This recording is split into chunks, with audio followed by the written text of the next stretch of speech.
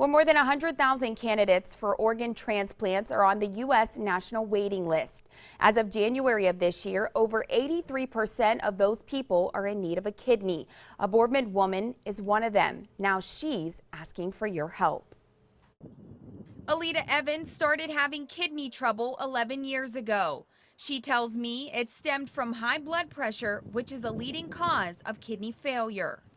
When the filtration rate for your kidneys reaches a certain point, uh, they will refer you for transplant.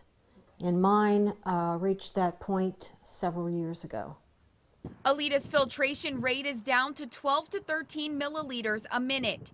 She's been on the transplant list at UPMC and Cleveland Clinic for over two years. That means if she doesn't get the transplant, she'll likely need dialysis soon that's not something I really am looking forward to, but that that's essentially what is going to happen.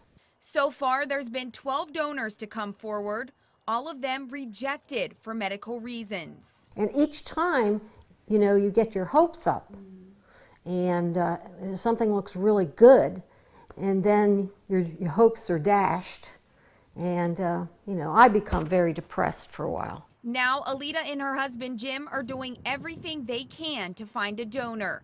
Maybe you've seen this billboard driving down South Avenue. It says, Save My Life. They are hoping this effort will get her the transplant she needs. Her best hope is a live donor, an altruistic donor. A live donor gives her a longer longevity. Mm-hmm. The, the life expectancy from a live donor kidney is, is much longer than from a deceased kidney donor. There are several phases of the donation process evaluation, surgery, and recovery. A donor typically spends two days in the hospital and has several weeks of recovery time. Alita Evans hopes to soon find her kidney donor match. It'd be a gift of life, actually.